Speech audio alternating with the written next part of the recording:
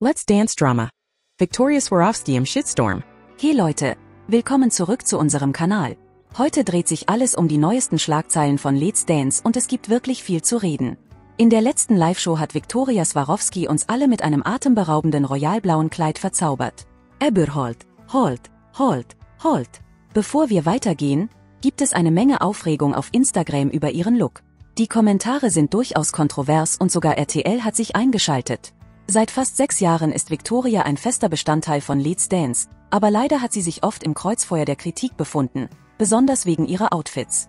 Diesmal hat sie sich für dieses atemberaubende Royalblau entschieden, aber die Meinungen dazu sind geteilt.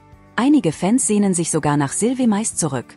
Aber Moment mal, Leute, es ist okay, über Outfits zu diskutieren, aber Bodyshaming geht gar nicht. Und das hat auch RTL klar gemacht. Nach den negativen Kommentaren haben sie eingegriffen und die Community erinnert, respektvoll zu bleiben. Applaus dafür. Es ist wirklich traurig, dass wir überhaupt darüber sprechen müssen, oder? Aber lasst uns alle zusammenhalten und für eine positive Community stehen. Was denkt ihr über die Situation? Lasst es uns in den Kommentaren wissen. Vergesst nicht zu abonnieren und den Kanal zu teilen, um auf dem Laufenden zu bleiben. Bis zum nächsten Mal, Leute.